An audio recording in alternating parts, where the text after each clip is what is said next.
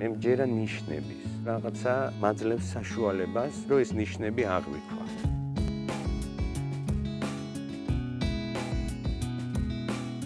ჩემ ცხოვრებაში რამაც ძალიან დიდი გავლენა იქონია და რითიც არ ვიცი ბედის თუ ბედის წერის ხმაყოფილი ვარ ეს არის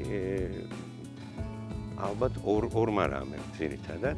პირველი ეს იყო ჩემი მასწავლებელი მიხეილ თუმანიშვილი რომ და უბედნიერესი ადამიანი ვარ რომ შემახვედრა ბედმა ამ არაჩვეულებრივ ადამიანს და ნუ ალბათ ესეთივე დიდი გავლენა იქონია ჩემმა მეუღლემ იმიტომ რომ ну, მე მგონია რომ זה აბსოლუტურად რადიკალურად შეიცვალა ჩემი ცხოვრება. ჩემ ცხოვრების დაახლოებით 70% მას უჭირავს. იმიტომ რომ მე შემიძლია ვთქვა რომ უზრუნველი ვარ ძალიან ბევრი რამით. და მთავარი ყველაფერს რო თავი დავანებოთ არის ნდობა, უფროსი შვილებისთვის ძალიან ცუდი მამა ვიყავი ნამდვილად, იმიტომ რომ უბრალოდ დრო არ მქონდა მათთვის.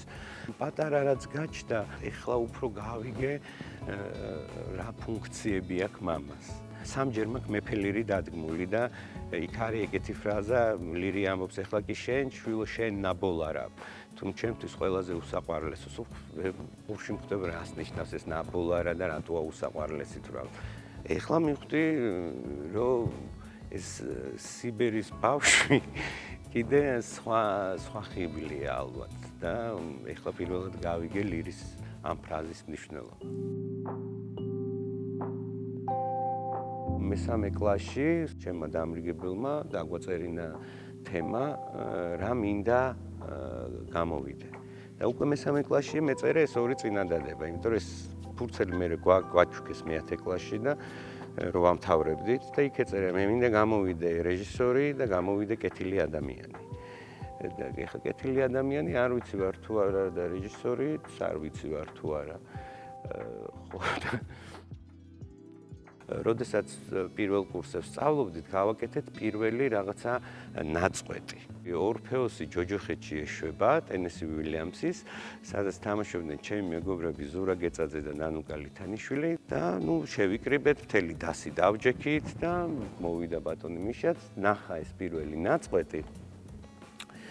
და რო დამთავრდა წესისა და რიგისამე ბრავიღეთ სკამები და დავჯექით წინ ამ სასამართლოს სკამზე რომ მიგვიღო განჩინება. და ეს მახსოვს ძალიან კარგად რომ უცებ ბატონი მიშე ადგა ხუდი დაიხურა, აიღო ჩანთა და წავიდა. და ვერაფრით ვერ მივხვდი რა რეაქცია იყო ეს. რა ეწყინა და რა არ მოეწონა. კიბებთან დავეწიე და უთხარი რომ ბატონო მიშა თქო ძალიან გთხოვთ ესე ნუ გააკეთებთ თქო უთხარი შენიშნა მაინც მოგვეცით თქო რომ გავითვალისწინოთ რაღაცა. და მაშინ შემომიტირა და მითხრა რაც მე ვნახე ბატონო დავით ცოტა ირონიულად იქ არაფერი არ იყო შესანიშნავი. და წავიდა. და ძალიან დიდხანს მე რო ფიქრობდი რას ნიშნავდა ანუ არ იყო შენიშვნის მიცემის ადგილი თუ შესანიშნავი ვერაფერი ვერ ნახა. დღემდე ეგ ვერ გავიგეთ. ამიტომ მან პირველად მივხვდი, რომ ის რაღაცა ობიექტური რეალობა ესე არ არსებობს რა. და გავაცნობიერე ეგ, რომ შეიძლება ერთ მოვლენას 1000 მხრიდან შეხედო და იყოს ერთ მოვლენაზე მილიარდი აზრი. და ამას როცა უკვე საკუთარ ტანზე იგრძნობ და საკუთარ სხეულზე გაცილებით იოლია მერე ცხოვრებაც.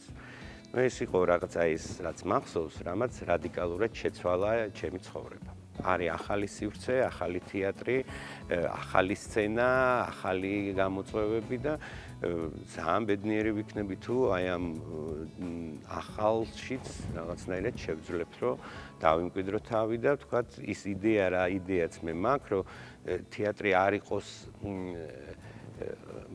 მუზეუმის მსგავსი დაწესებულება, სადაც 6 საათზე მიდიან და 10 საათზე რაღაცას ნახულობენ და მოდიან.